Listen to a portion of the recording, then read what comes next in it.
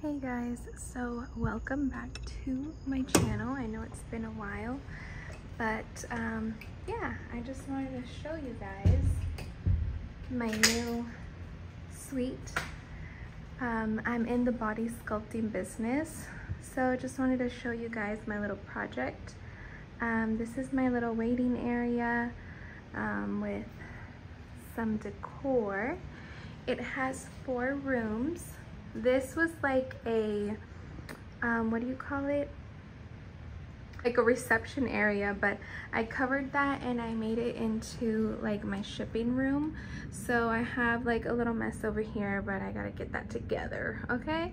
So this is all my stuff there that I sell online.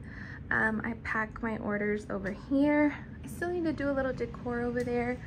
Um, so this is the restroom just, you know, nothing special. This is another room that I am renting out. So if you're in the Snellville, Georgia area, let me know this room is available. This room is already rented. There's um, teeth whitening going on in there. And this is my room where I do my body sculpting. So here's this. Ooh, cute sculpted beauty lounge. And right here is where my customers lay down and I do their body sculpting. So basically it's like a weight loss method that is non-surgical. We have the laser pads that we also use. These laser pads go on your stomach right here. We also have the butt cupping machine, which is equivalent to 1500 squats that you guys can come and do. Um, I also do yoni steaming. Um, we do basically a lot of stuff here.